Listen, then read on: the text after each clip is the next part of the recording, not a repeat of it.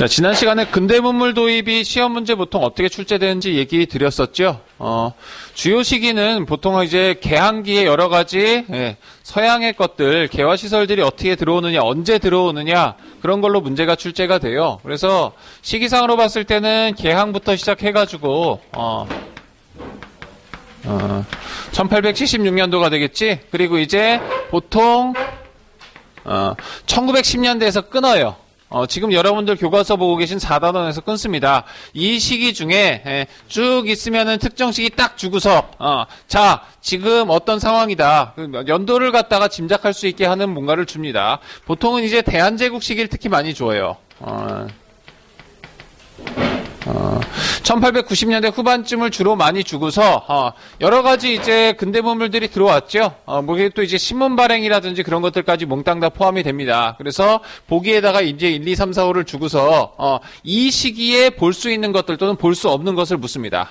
어, 그래서 뭐 예전에는 연도를 갖다 다 외워두고서 특히 이제 예, 대한제국 초기에 예, 대한제국 식사능업 정책과 함께 여러 가지 근대 시설들 많이 확충되죠. 어, 그러다 보니까 아, 그런 것들 집중해서 시험 문제를 내곤 했는데 요즘엔 너무 사악하다라고 해서 이거 굳이 알아서 뭐하냐. 어, 우리나라의 철도가 이제 1998년도에 설치가 처음으로 설치가 됐는지 아니면은 1910년도에 설치가 됐는지 이게 무슨 의미가 있냐. 뭐 이런 얘기도 나오면서 잘 안 나오는 추세긴 합니다. 근데 나중에 이제 여러분들이 공무원 시험이라든지 어, 공무원 한국사라든지 음, 1876. 어. 그래서 이제 그 공무원 시험이라든지 아니면 여러분들이 한국사 능력 시험 같은 경우에는 그런 문제들이 간혹 출제되기도 합니다. 그래서 일단은 어, 이런 식으로 문제가 출제된다라는 것들 보시고서 어, 그냥 여러분들은 이 시기에 예, 그냥 전체적으로 보세요. 이 시기에 어떤 물건들이 새롭게 들어왔다라는 정도만 체크하고 넘어가도록 하겠습니다. 자, 그래서 이제 지금 오늘 처음 다룰 주제는 통신과 관련된 건데요. 여러분들이 용어만 좀 구분하시고 넘어가도록 합시다. 음, 음.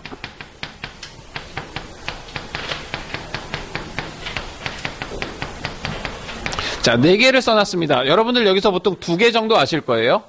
어, 많이 하는 사람들은 세개알 거고요. 그리고 네 개째는 잘 모르는 사람들이 많을 거다라고 생각됩니다. 자, 일단 우편은 어떤 거니? 예, 편지죠. 어, 물어보는 내가 좀 민망해지는 집에서 이제 집까지 보낼 수 있는 예, 어, 편지 되겠습니다. 편지 가는 거고요. 어, 자, 그 다음에 전화는 역시 이제 집까지 가는 거, 어, 개인한테 가는 거, 그리고 이거는 음성 전달이지요.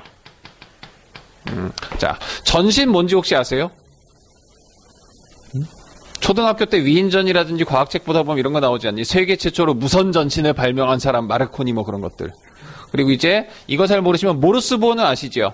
음, 띠릭띠릭 하면서 가는 것들. 그걸로 전달하는 게 이제 전신입니다. 어, 전신은 주로 이제 기관에서 사용을 해요. 어.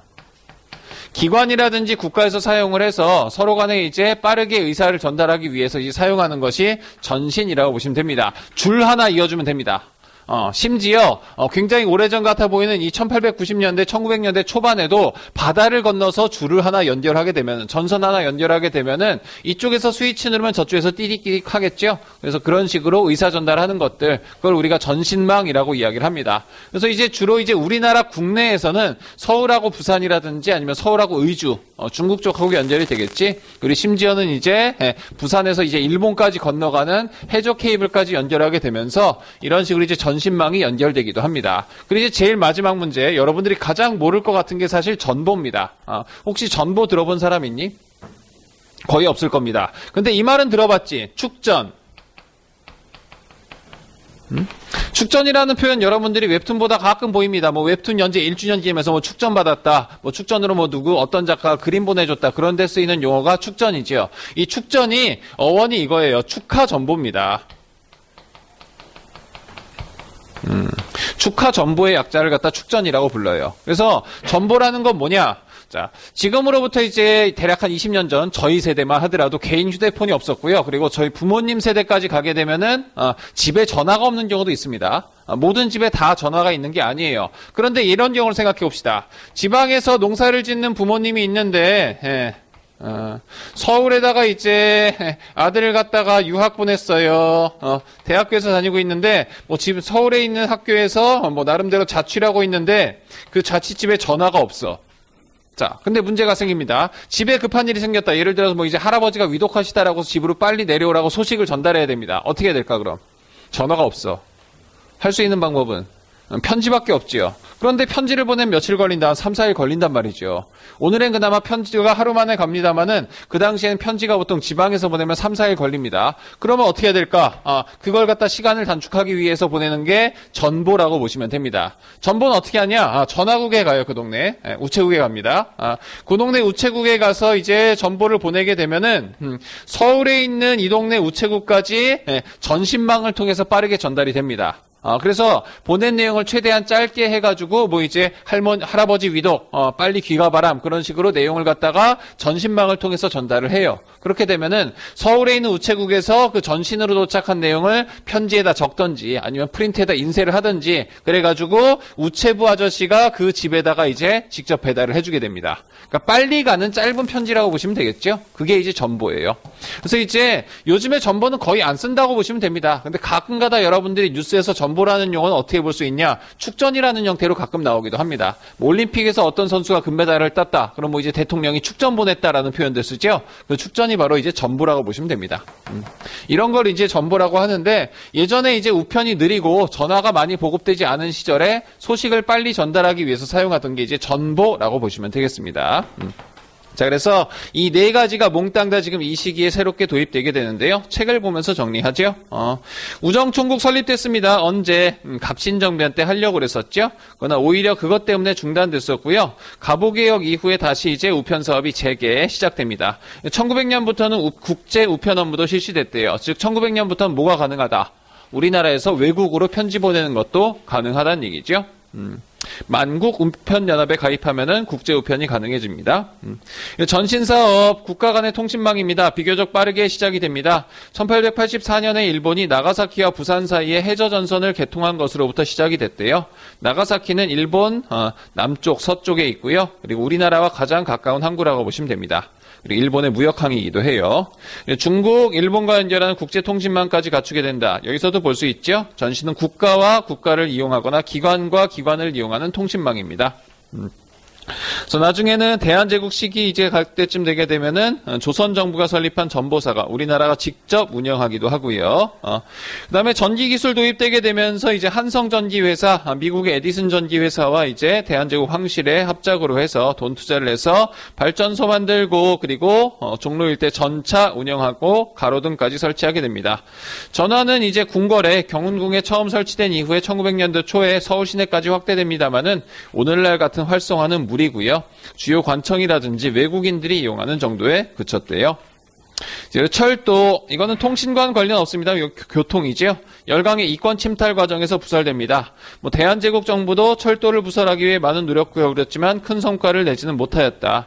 여러분들이 이권 침탈할 때 이제 철도에 대해서 한 문장으로 기억하셨을 겁니다. 결론은 일본. 어, 결국 어떻게 된다? 우리나라 철도는 아, 일본에 의해서 부설되고 일본에 의해서 운영되게 됩니다. 그러다 보니까 우리나라 철도가 좀 꼬여 있는 게 있어요. 음, 자, 아, 가끔 이런 얘기들이 나옵니다. 일본이 우리나라에 철도를 놔줬다. 정말 고마운 일이다. 아, 라고 하면서, 어, 우리나라에 굉장히 많은 도움을 줬다라고 얘기하는데, 사실 그거는, 어, 제일 목적이 아니에요. 일본이 우리나라의 철도를 부설한 것 자체가, 아, 자기들의 식민지 경영을 위해서였다. 자기들의 이익을 위한 거였다라는 건 철도 모양에 또 나와 있습니다. 자, 우리나라 주요 도시를 잠깐 지도에다 표시해 봅시다. 서울 있고 부산 있고 그리고 이제 이쪽에 예, 원산 있고 이쪽에 의주가 있겠죠. 자, 아, 서울에서 부산을 가는데 일직선으로 쭉 그어본다고 생각합시다. 음, 그렇게 되면은 기존의 우리나라의 주요 발달된 도시들을 거의 다 지나가게 됩니다. 예를 들어서 충청도에 발달된 도시 기억해 봅시다. 충청도가 왜 충청도다? 충주하고 청주가 주요 도시죠. 이거 다 지나가요. 청주 지나가고 충청도 비슷하게 지나가서 일직선으로 이어질 수 있습니다. 그러나 일본이 계획하고 놓은 경부선 철도 같은 경우 어떻게 되느냐 이게 아래쪽으로 휘어 있습니다. 음? 자 그리고 여기 휘어서 꺾어지는 지점에 있던 도시가 원래는 그냥 커다란 밭이었는데 밭밖에 없는 동네였는데 새로운 도시로 발달하게 됐죠. 이 도시가 어딜까? 큰 밭. 한자로 어, 대전입니다. 어, 대전이 이때 철도의 요충지로서 발달하게 돼요. 왜냐하면은 경부선뿐만 아니라 일제강점기 들어가면서 이때쯤 되게 돼가지고 호남선 철도까지 같이 놓여지게 됩니다. 그리고 호남선 철도도 이걸 같이 이용하면서 이렇게 휘어버리죠.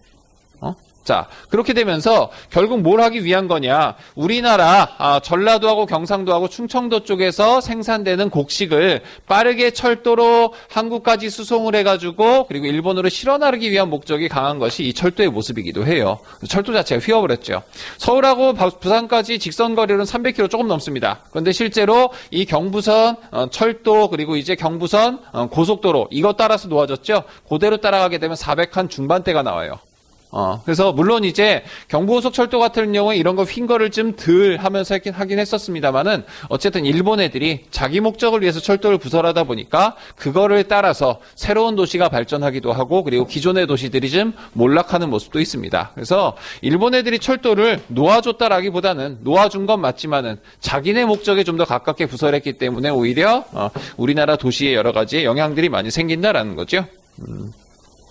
잠깐 그런 얘기 해봤고요. 그리고 다음 쪽 얘기 의료시설 얘기 보겠습니다. 아, 의료시설도 역시 근대시설과 함께 시작이 되게 되는데요. 어, 잠깐 이거는 좀 별도 얘기지만 뒷얘기처럼 좀 소개를 해보죠. 어, 자, 우리나라에서 자기네들이 가장 역사가 오래된 병원이다라고 다투는 두 개의 병원이 있습니다. 어디하고 어디게?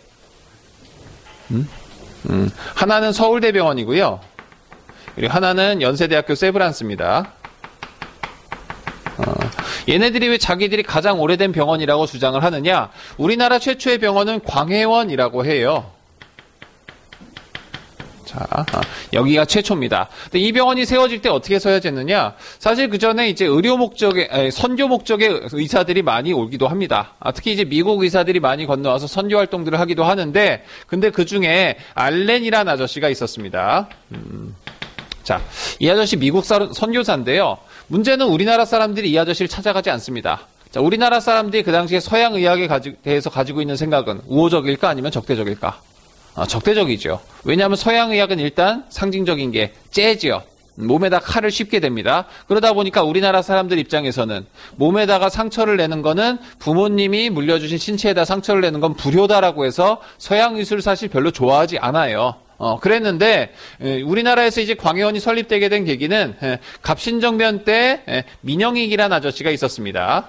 어, 자, 일단 이름을 보자. 민자가 들어갔지. 민실 쪽이겠죠. 이 사람이 이제 갑신정변 때 급진기한파한테 칼침을 맞고서 중상을 입습니다. 중상에서 사경을 헤매고 있는 사람을 이 선교사였던 알렌이 완치시킵니다. 그리고서 황제의 측근이었던 이 민영익이 고종한테 가서 아, 아 이전에 서양 의사 알렌한테 내가 치료를 받았는데 이 사람 의술이 참 훌륭하더라. 서양 의술을 다루는 병원 우리나라도 세울 필요가 있다라고 건의를 하게 되면서 알렌을 총책임자로 해가지고 우리나라의 최초의 서양식 병원 광해원이 설립이 됩니다. 자, 그리고 뭐 이름이 나중에 재중원으로 바뀌는 등 나름대로 계속해서 병원을 유지해 갔는데 문제는 병원이 장사가 안 돼요. 아까도 이렇게 사람들이 서양 의술을 별로 좋아하지 않기 때문에 병원이 예, 손님이 없습니다. 환자가 없습니다. 그래서 이렇게 병원이 점점 망해가자 아, 결국 국가가 이 병원을 갖다 다른 데다 넘깁니다. 미국 북장로교 선교회에다가 넘기고 어, 종교재단에다가 넘기게 되고 그 선교회가 이름을 바꿔가지고 어, 세브란스 병원이 돼서 그리고 이 세브란스는 나중에 연희 전문이라는 학교랑 합치게 되면서 결국은 이제 연희 전문의 연자와 세브란스의 세자를 갖다 하나씩 떼서 뭐가 된 걸까? 아, 아, 연세대가 된 거죠. 이렇게 온 게 하나가 됩니다. 그리고 또 하나, 아, 국가가 재중원을 갖다가 없애버린 이후에 그래도 말이 안 된다. 아, 그래도 근대기인데 우리 이제 서양 몸을 받아들이고 있는데 우리나라에 서양 의술 병원이 하나도 없는 건 말이 안 된다라고 해서 광재원이라는 병원을 세우고 이제 그게 대한의원으로 연결이 됩니다. 아, 그리고 그 대한의원을 이어받은 게 일제강점기 때 경성제국대학병원을 지나가지고 어, 그리고 이제 오늘날의 서울대병원까지 이어지고 있는 거예요. 그러다 보니까 아, 국립병원에 이제 계보를 계속 잇고 있는 건 광해원부터 시작하면은 대한의원에서 서울대학병원까지 이어지고 있는 거죠. 그렇기 때문에 서울대학병원 나름대로 자기들이 가장 오래됐다라고 주장하기도 하고 그리고 연대병원도 나름대로 세브란스도 자기네들이 가장 오래됐다라고 주장할 수 있기도 한 거죠. 음, 사실 별 의미 없는 자존심 싸움이긴 합니다만은 그래서 오늘날에 이제 저쪽에 대학로 서울 대학로 쪽에 가게 되면은 어, 대한의원 그 서울대병원 있습니다. 그리고 서울대병원 안에 들어가게 되면은 아주 호합한 어, 새로운 이제 새로 지은 삐까번쩍한 건물들 옆에 2층짜리 예, 대한의원 처음 세워질 때 있었던 건물이 세워져 있기도 합니다. 합니다. 그리고 그 대한의원 앞에는 동상이 하나 있는데요. 어, 거기 이제 그 동상의 주인공은 예, 바로 다음에 나오죠. 우리나라에서 종두법 배워서 보급했었던 지석영이란 아저씨. 사실 이 아저씨 본업은 국문학자입니다만은 어, 종두법 이후에 의술에도 관심이 많아가지고 어, 대한의원의 첫 책임자가 되기도 하셨어요. 음. 의료시설 잠깐 얘기해봤고 어쨌든 간에 최초의 병원 광연은 언제 예, 갑신정변 때 칼침 맞은 이후 어, 1880년대 중반에 세워지게 됐습니다. 음. 자, 의식주 생활 그냥 상식적으로 보고 넘어가죠. 의식주 생활 새로운 변화가 나타났대요. 다 바뀌었겠죠? 그냥 좀 생각해보면서 넘어갑시다. 의식주 중에 제일 바꾸기 쉬운 게 뭘까? 의식주 중에 제일 바꾸기 쉬운 게 뭘까? 자, 정줄이 나가 있는 분부터 대답해 봅시다. 자, 의식주 중에 제일 바꾸기 쉬운 게 뭘까? 어, 먹으면 되죠. 어, 식이 가장 바꾸기 쉽습니다. 가장 힘든 거. 어, 집은 때려 부수고 다시 지어야 되죠. 어, 가장 힘든 게 집이기도 합니다. 옷은 생각보다 힘들었대요. 서양식 예복을 황제가 아, 대한제국 이후에 고종이 서양식 제복으로 바뀌게 되고 관복도 다 서양식으로 바뀌면서 서양식 의복들의 보급이 확대됩니다. 그런데 문제는 서양식 제복의 색깔이 대부분 남성용은 검정색이죠. 우리나라에서 검정색 옷은 누가 입는 옷? 저승사자들이 입는 옷이다 보니까 사람들의 의식 때문에 검정색 옷을 꺼리다 보니까 이렇게 쉽게 바뀌진 않았다라고 합니다. 음. 자, 그래 음식 열심히 마셨대요. 어, 먹었대요. 그래서 중국의 음식이라든지 일본의 음식들 그리고 어, 서양식 음, 음료 대부분 커피 같은 것들이 대표적이죠. 주거 생활 서양식 건물들 주어집니다. 주로 이제 근데 서양인들이 세우는 건물들 중심으로 돼요. 그래서 외국 대사관이라든지 그리고 종교 시설들 어, 명동성당, 정동교회 같은 것들 각각 천주교와 개신교를 대표하는 대표적인 건물들입니다. 자 그리고 이 건물 하나는 기억해 둡시다. 음. 덕수궁 석조전이 있습니다. 아, 덕수궁 궁궐 안에 서양식 건물 르네상스 양식의 석조전 돌로 만든 건물이 하나 세워지게 되는데요. 어, 그리스 로마 신전하고 굉장히 닮은 모습이기도 해요. 어, 르네상스 양식입니다. 자, 근데 덕수궁 석조전은 여러분들 왜 따로 기억해 두라라고 하면은 혹시나 음, 이런 식의 문제가 출제가 됐을 때 덕수궁 석조전은 대부분 없습니다. 음? 덕수궁 석조전이 세워진 연도가 1910년도예요. 어. 자, 왜 그런지 알겠니? 어? 자, 웬만한 시점을 잡아서 문제를 내도 덕수궁석조전은 항상 어떤 상태다? 아직 안 지어진 상태다라는 거죠. 어, 그래서 이제 문제의 포인트가 될 수 있는 쉬운 보기 중에 하나이기 때문에 예, 덕수궁 석조전 1910년도에 이제 만들어졌다라는 정도는 여러분들이 좀 기억을 해두시는 게 좋겠습니다. 음. 자, 그 정도 보고 이제 다음 장 넘어가도록 하시죠. 어, 대한제국기 어느 신문사 직원의 하루 시간 나면 읽어보세요. 그리고 문학과 예술의 새로운 변화입니다. 어. 그 대한제국기 어느 신문사 직원의 하루가 대표적인 연도 관련된 문제 출제될 수 있는 부분이기도 하죠. 자, 문학과 예술의 새로운 변화 보겠습니다. 아, 자, 음. 자, 전에 한번 얘기했었는데요. 이 부분의 것들은 여러분들이 대부분 다 시기를 어떻게, 예, 나중에 일제강점기까지 합쳐서, 어, 음, 기억을 해야 돼요. 어, 1910년까지, 1910년대, 그리고 이제 1920년대 그리고 1930년대 이후입니다. 어, 지금 4단원에서 나오지만 어차피 다 시험법입니다. 5단원까지 어, 들어갑니다. 그래서 시기별로 특징들을 중심으로 해서 기억을 해야 되지. 아, 1910년대 시는 이랬어. 10년대는 이랬고, 20년대는 이랬고, 30년대는 이랬어. 아, 문학은 이랬어. 10년대까지 이랬고, 이랬고, 이랬고, 이랬고. 음, 머리 돕니다. 아, 그냥 시대적인 흐름에 따라서 전체적으로 보시게 되는데요. 그래서 모든 예술들이 마찬가지입니다. 1910년대까지 일제 강점기 들어갈 때의 모습은 서양, 땡땡, 도입 시작이에요. 음? 기존에 우리 형식의 예술을 하다가 이제 서양 형식의 뭔가 예술품들이 뭐 예술 형식들이 도입되기 시작하는 게 예, 일제강점기 이전까지의 모습입니다. 그래서 일단 전체적인 흐름은 이걸로 보시면 되고요. 각각 분야별로 어떻게 되는지 이제 보시죠. 그러다 보니까 신 시리즈가 많아요.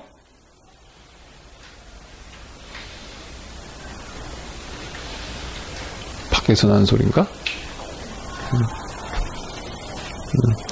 자, 책에 보겠습니다. 일단 시입니다. 아, 서양식 시의 형식이 조금 도입된 신체시가 등장합니다. 음, 새로운 형태의 시다. 그래서 신체시예요. 최남선 아저씨의 해에게서 소년에게 있습니다. 음, 이전에 우리나라 시는 보통 시조였죠. 음. 자, 그 다음 서사문학 되겠습니다. 소설인데요. 어, 소설에선 이제 신소설 등장합니다. 어, 금수회의록, 그리고 혈의 누, 자유종 같은 것들이 대표적입니다. 자, 서양식 형식을 빌린 소설이다 보니까 서양 문물에 익숙한 음, 개화파들 어, 그런 사상을 가졌던 사람들이 소설을 씁니다. 그러다 보니까 아, 이런 소설을 통해서 뭔가 사람들한테 알리고자 하는 목적도 많이 보여요. 그래서 주제들이 보통 개화와 관련된 것들, 신교육, 여권 존중, 계급 타파 같은 내용들이 있습니다. 그래서 이제 사회 비판적인 모습도 많이 다루고 있고요. 그래서 금수회의록 같은 경우에 오른쪽에 이제 표지가 나와 있죠. 말 그대로 금수, 짐승들이 회의하고 있는 거예요. 내용은 다음과 같습니다. 인간들은 맨날 서로 싸워요. 매우 어리석어요. 그러면서 인간들이, 아니, 동물들이 인간을 디스하는 내용을 담고 있는 내용, 금수회의록이고요. 그 다음에 이제 그 여기 등장하지 않았는데 이제 자유종이라는 소설이 있습니다. 그거 보시면 내용이 어떻게 되냐면요. 갑자기 어떤 부인이 얘기를 해요. 음, 아, 나 이 남자랑 못 살겠다. 집 나가겠다. 아, 사실 그 당시 성리학적인 사회에서 여자가 먼저 남자를 버리고 집 나간다라는 것들, 이혼하겠다라는 얘기는 받아들일 수 없는 얘기죠. 그러나 이제 약간 좀 여권 신장에 있어서 여권을 존중하는 모습에 그래서 이제 자유로운 여성의 모습들 이런 걸 다루고 있는 것이 신소설의 하나의 주제이기도 합니다. 음. 자, 그리고 음악 분야 서양식 악곡에 가사를 붙여 부르는 창가가 유행을 했대요. 어, 이거는 특히 외국 곡들을 번역해서 가사를 우리나라 말로 붙이기도 합니다. 여러분들 이제 이별의 노래라는 거 아시죠? 음, 오랫동안 사귀었던 정든 내 친구요. 어, 그 있잖아. 오랫동안 사귀었던 정든 내 친구요. 이런 노래 있잖아. 어, 이게 이제 원래 영어 가사가 있죠? 스코틀랜드 민요입니다. 번역해가지고 이렇게 부르는 거고요. 가사는 보통 앞에 일곱 자, 뒤에 다섯 자라고 생각하시면 돼요. 생각보다 이 형식이 굉장히 많습니다. 뭐 고향의 부분 같은 경우에도, 동요 같은 경우에도 대부분 비슷한 형식이죠. 어, 하다못해 여러분들 부르던 나리나리 개나리 입에 따다 불고요. 비슷합니다. 어.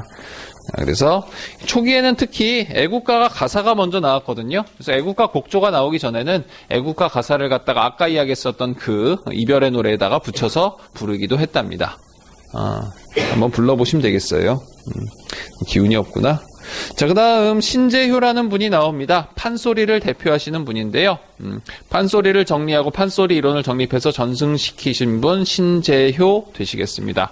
자, 이분 이름 음, 신채호하고 비슷한 이름을 가지신 분이에요. 헷갈리지 마시고요. 어, 신채호 아니고요. 어, 트와이스 지효도 아니고요. 신재효입니다. 자, 미술 어, 서양 화풍 소개됐대요. 연극 서양 연극식의 형식이 소개되게 되면서 역시 신극이라는 것들이 공연되고 그리고 현대식 극장의 원각사가 세워지기도 했답니다. 원각사 역시 이 시대를 대표하는 건축물 중의 하나입니다. 음, 지금은 남아 있지 않아요.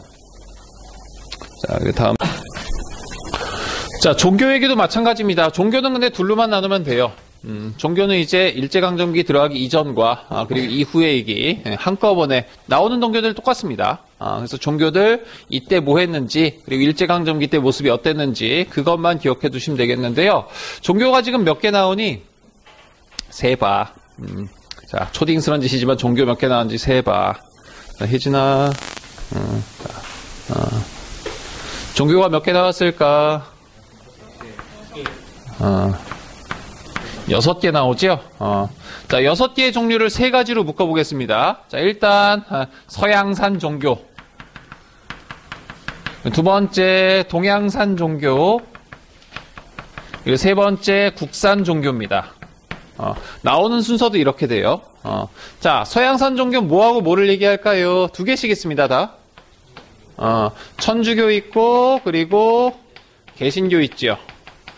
어, 이 종교들은 뭘 중심으로 보면 될까? 일단 서양산 종교라는 얘기는 이건 어, 새로 들어온 거예요. 어, 새로 들어온 거다 보니까 어떻게 선교를 할 것인가, 어떻게 종교를 갖다 확장시킬 것인가, 이게 이제 포인트가 됩니다. 그래서 이제 예, 일단 합법화된 거는 각 나라와 외교관계 수립하게 되면서 어, 좀 포교의 자유를 얻었고요. 그리고 이제 공통적으로 어, 교육 사업에 열심히 힘쓴다라는 공통점도 있고 그리고 이제 추가로 가게 되면은 천주교 같은 경우엔 사회 사업 많이 해요. 어, 고아원이라든지 같은 사회 산업들 사업들 많이 하고 그리고 이제 예, 개신교 같은 경우에 의료 사업을 중점으로 좀 많이 하기도 합니다. 그래서 이제 선교한다라는 것들 일단은 교육이라는 공통점이 많이 이야기가 됩니다. 학교 설립 얘기할 때 잠깐 우리가 보기도 했었지. 음, 자 그리고 음, 자 그다음 동양산 종교 어, 어, 유교하고 불교 있습니다. 어, 자 얘네들은 서양산이 새로 들어온 거라면은 동양산은 뭐라고 표현하면 될까? 음? 원래 있던 거죠.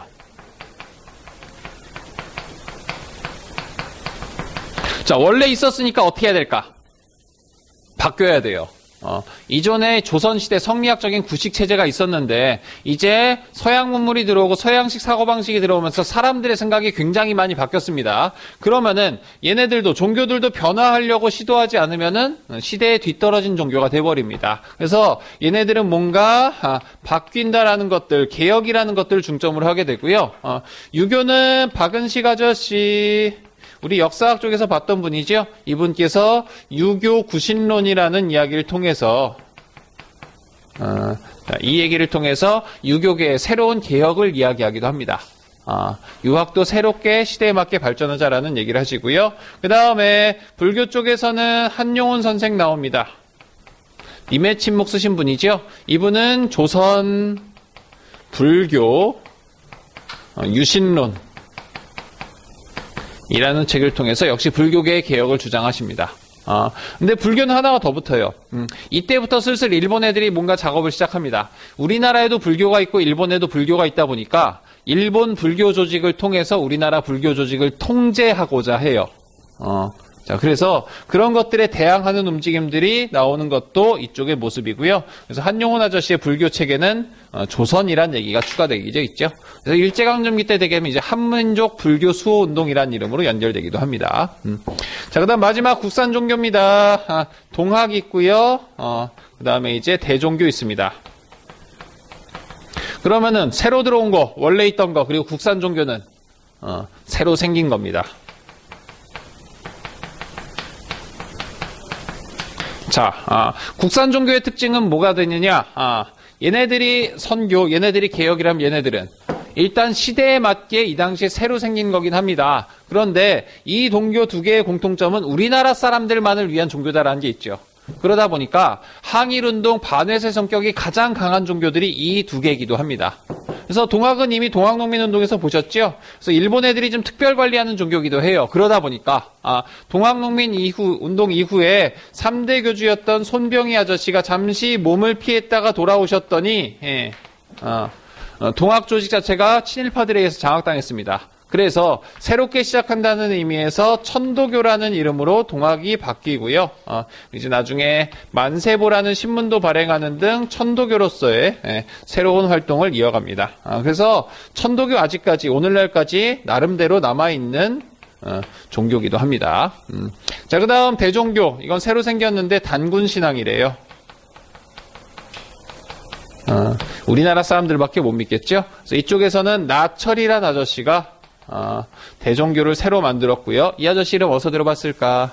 어, 을사오적 암살단 하던 그 아저씨입니다. 그래서 많이 확산시키는데 오늘날의 대종교는 우리나라에 거의 남아있지 않습니다. 그 이유는 이때 나철 아저씨가 주로 포교했던 곳이 본인도 그렇고 어, 만주하고 연해주 쪽으로 이동해 버려요. 그래서 의병이라든지 나중에 독립군 되는 사람들, 무장투쟁하던 사람들 중심으로 많이 퍼졌기 때문에 오늘날 우리나라엔 거의 남아있지 않은 것이 대종교기도 합니다. 이때 새롭게 만들어진 종교입니다.